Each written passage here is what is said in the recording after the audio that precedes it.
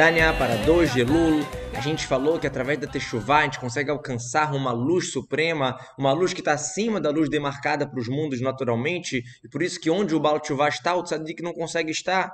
Então é verdade que o principal da Tchuvá é no coração. Através que a pessoa ela se arrepende do, do âmago do coração, ele desperta também o âmago da luz suprema, porque ele está tá doendo aquilo para ele lá no âmago, ele desperta também o âmago de Hashem, vamos chamar assim, essa luz tão gigantesca. Mas como é que a gente faz para trazer essa luz aqui embaixo? Para trazer nesses mundos, precisa do despertar de baixo em ação, mamash, na prática, em ação. Qual é a ação que causa a luz infinita vir para o mundo? É a tzedakah e bondade sem limite. Ah, não, já ajudei uma pessoa, já ajudei um pouquinho. Ah, não, já, já conversei 10 minutos com essa pessoa que precisava de um ouvido, não vou mais falar. Não, quando a pessoa ela faz de uma maneira ilimitada, ela causa essa luz ilimitada. Como a pessoa ela está influenciando Rav Chesed, muito bondade. O que quer dizer a palavra Chesed? Has tem pena, Dalet. O que, que é Dalet? Deleite, que ele não tem. O Dali Evono miserável, deleite-lhe que não tem para ele dele mesmo nada. A pessoa que ela está dando de uma maneira vravres, com muita bondade, muita pena de quem não tem, não está botando limite na sua influência, na sua ajuda, assim também Deus vai lhe aspia, vai influenciar da sua luz, da sua bondade, de uma maneira lá, de uma maneira muita bondade, de uma maneira infinita, sem limitação, dentro dos mundos. Porque para Deus, todos os mundos, tanto os elevados como os inferiores, para Deus aquilo ali é dalet, é deleite, que não tem nada. Eles não têm nada por si, tudo, Deus, tudo perante Deus é como nada.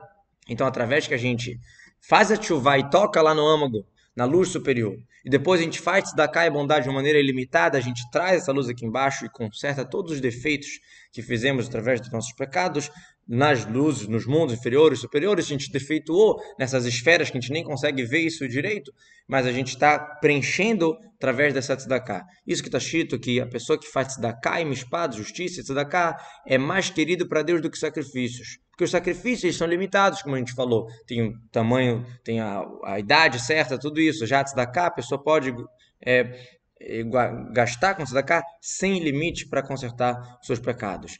Ah, mas está escrito na Guimará uma lei que a pessoa que ela vai gastar com tzedakah não deve gastar mais do que 20%. E isso está se tratando da pessoa que não pecou ou que já consertou seus pecados com sofrimentos, com jejuns, com outras coisas, como deve fazer para preencher esses defeitos. Mas aquela pessoa que precisa consertar a alma, é óbvio que a pessoa pode gastar mais que 20%. Porque se para salvar o corpo a gente o gasta do além quando precisa, o que for necessário, então a alma não é menos que o corpo. Então o dinheiro não é nem considerado né? Tudo que a pessoa ela tem, ela dá pela sua alma, igual que uma pessoa daria tudo para fazer uma operação, daria tudo para fazer uma coisa para salvar o corpo dela, com certeza pela alma também. Então essa lei de limite do tzedakah de 20% é só quando a pessoa já consertou seus pecados, ou se ela não fez pecado nenhum. Se a gente tem o que consertar, então a gente tem que tzedakah de uma maneira ilimitada. É claro que a pessoa não deve dar tzedakah e depois precisar pegar tzedakah dos outros, aí não, não daria certo. Mas o que ele está falando aqui é de não ser só de maneira contada, só obrigação, só o 10%, e sim dar tzedakah a mais, acima do, dos nossos limites. Ai,